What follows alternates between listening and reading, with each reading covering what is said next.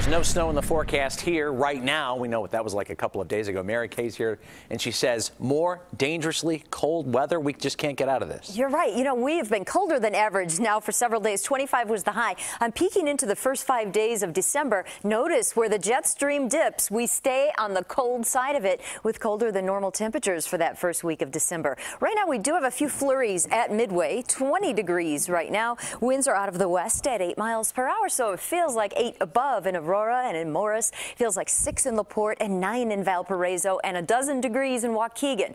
Now, as far as the actual temperature goes, it will fall because the winds die down, the skies clear out. We'll be off to a bright start in the morning, but temperature is really struggling for us. This is what it will feel like. at 7 in the morning when you step out for your morning commute or the kids catch the bus. 9 in Valparaiso, Aurora. Feels like 7 in McHenry, feeling like 6 degrees in DeKalb. And even by noon, barely feeling like 20. And I think our actual temperatures again topping out in the 20s.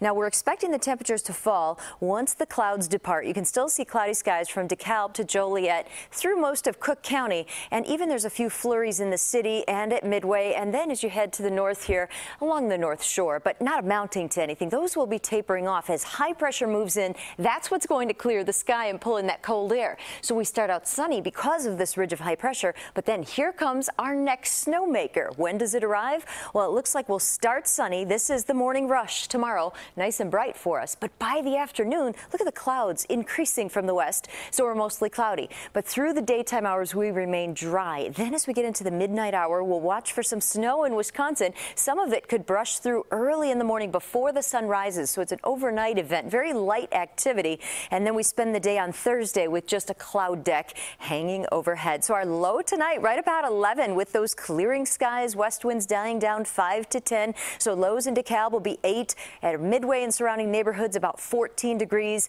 Our normal high is 42. But tomorrow I'm expecting 27 for you in Aurora, 28 in Waukegan, 27 in LaPorte. And then as we go through the day, look for the clouds to increase, mostly cloudy by 4 o'clock. Look at that temperature. I can't find the 40s here in the short term. Thursday, though, we come above freezing, mostly cloudy skies. Friday night, we may watch for some freezing rain, and then it changes to all rain Saturday and Sunday. There are the 40s, Robin Irika. 47 yeah. Saturday. We finally get them, but then we get you know lots of rain. We get wet. So we can't win here. can't have it all. Got it. Thanks. Well, some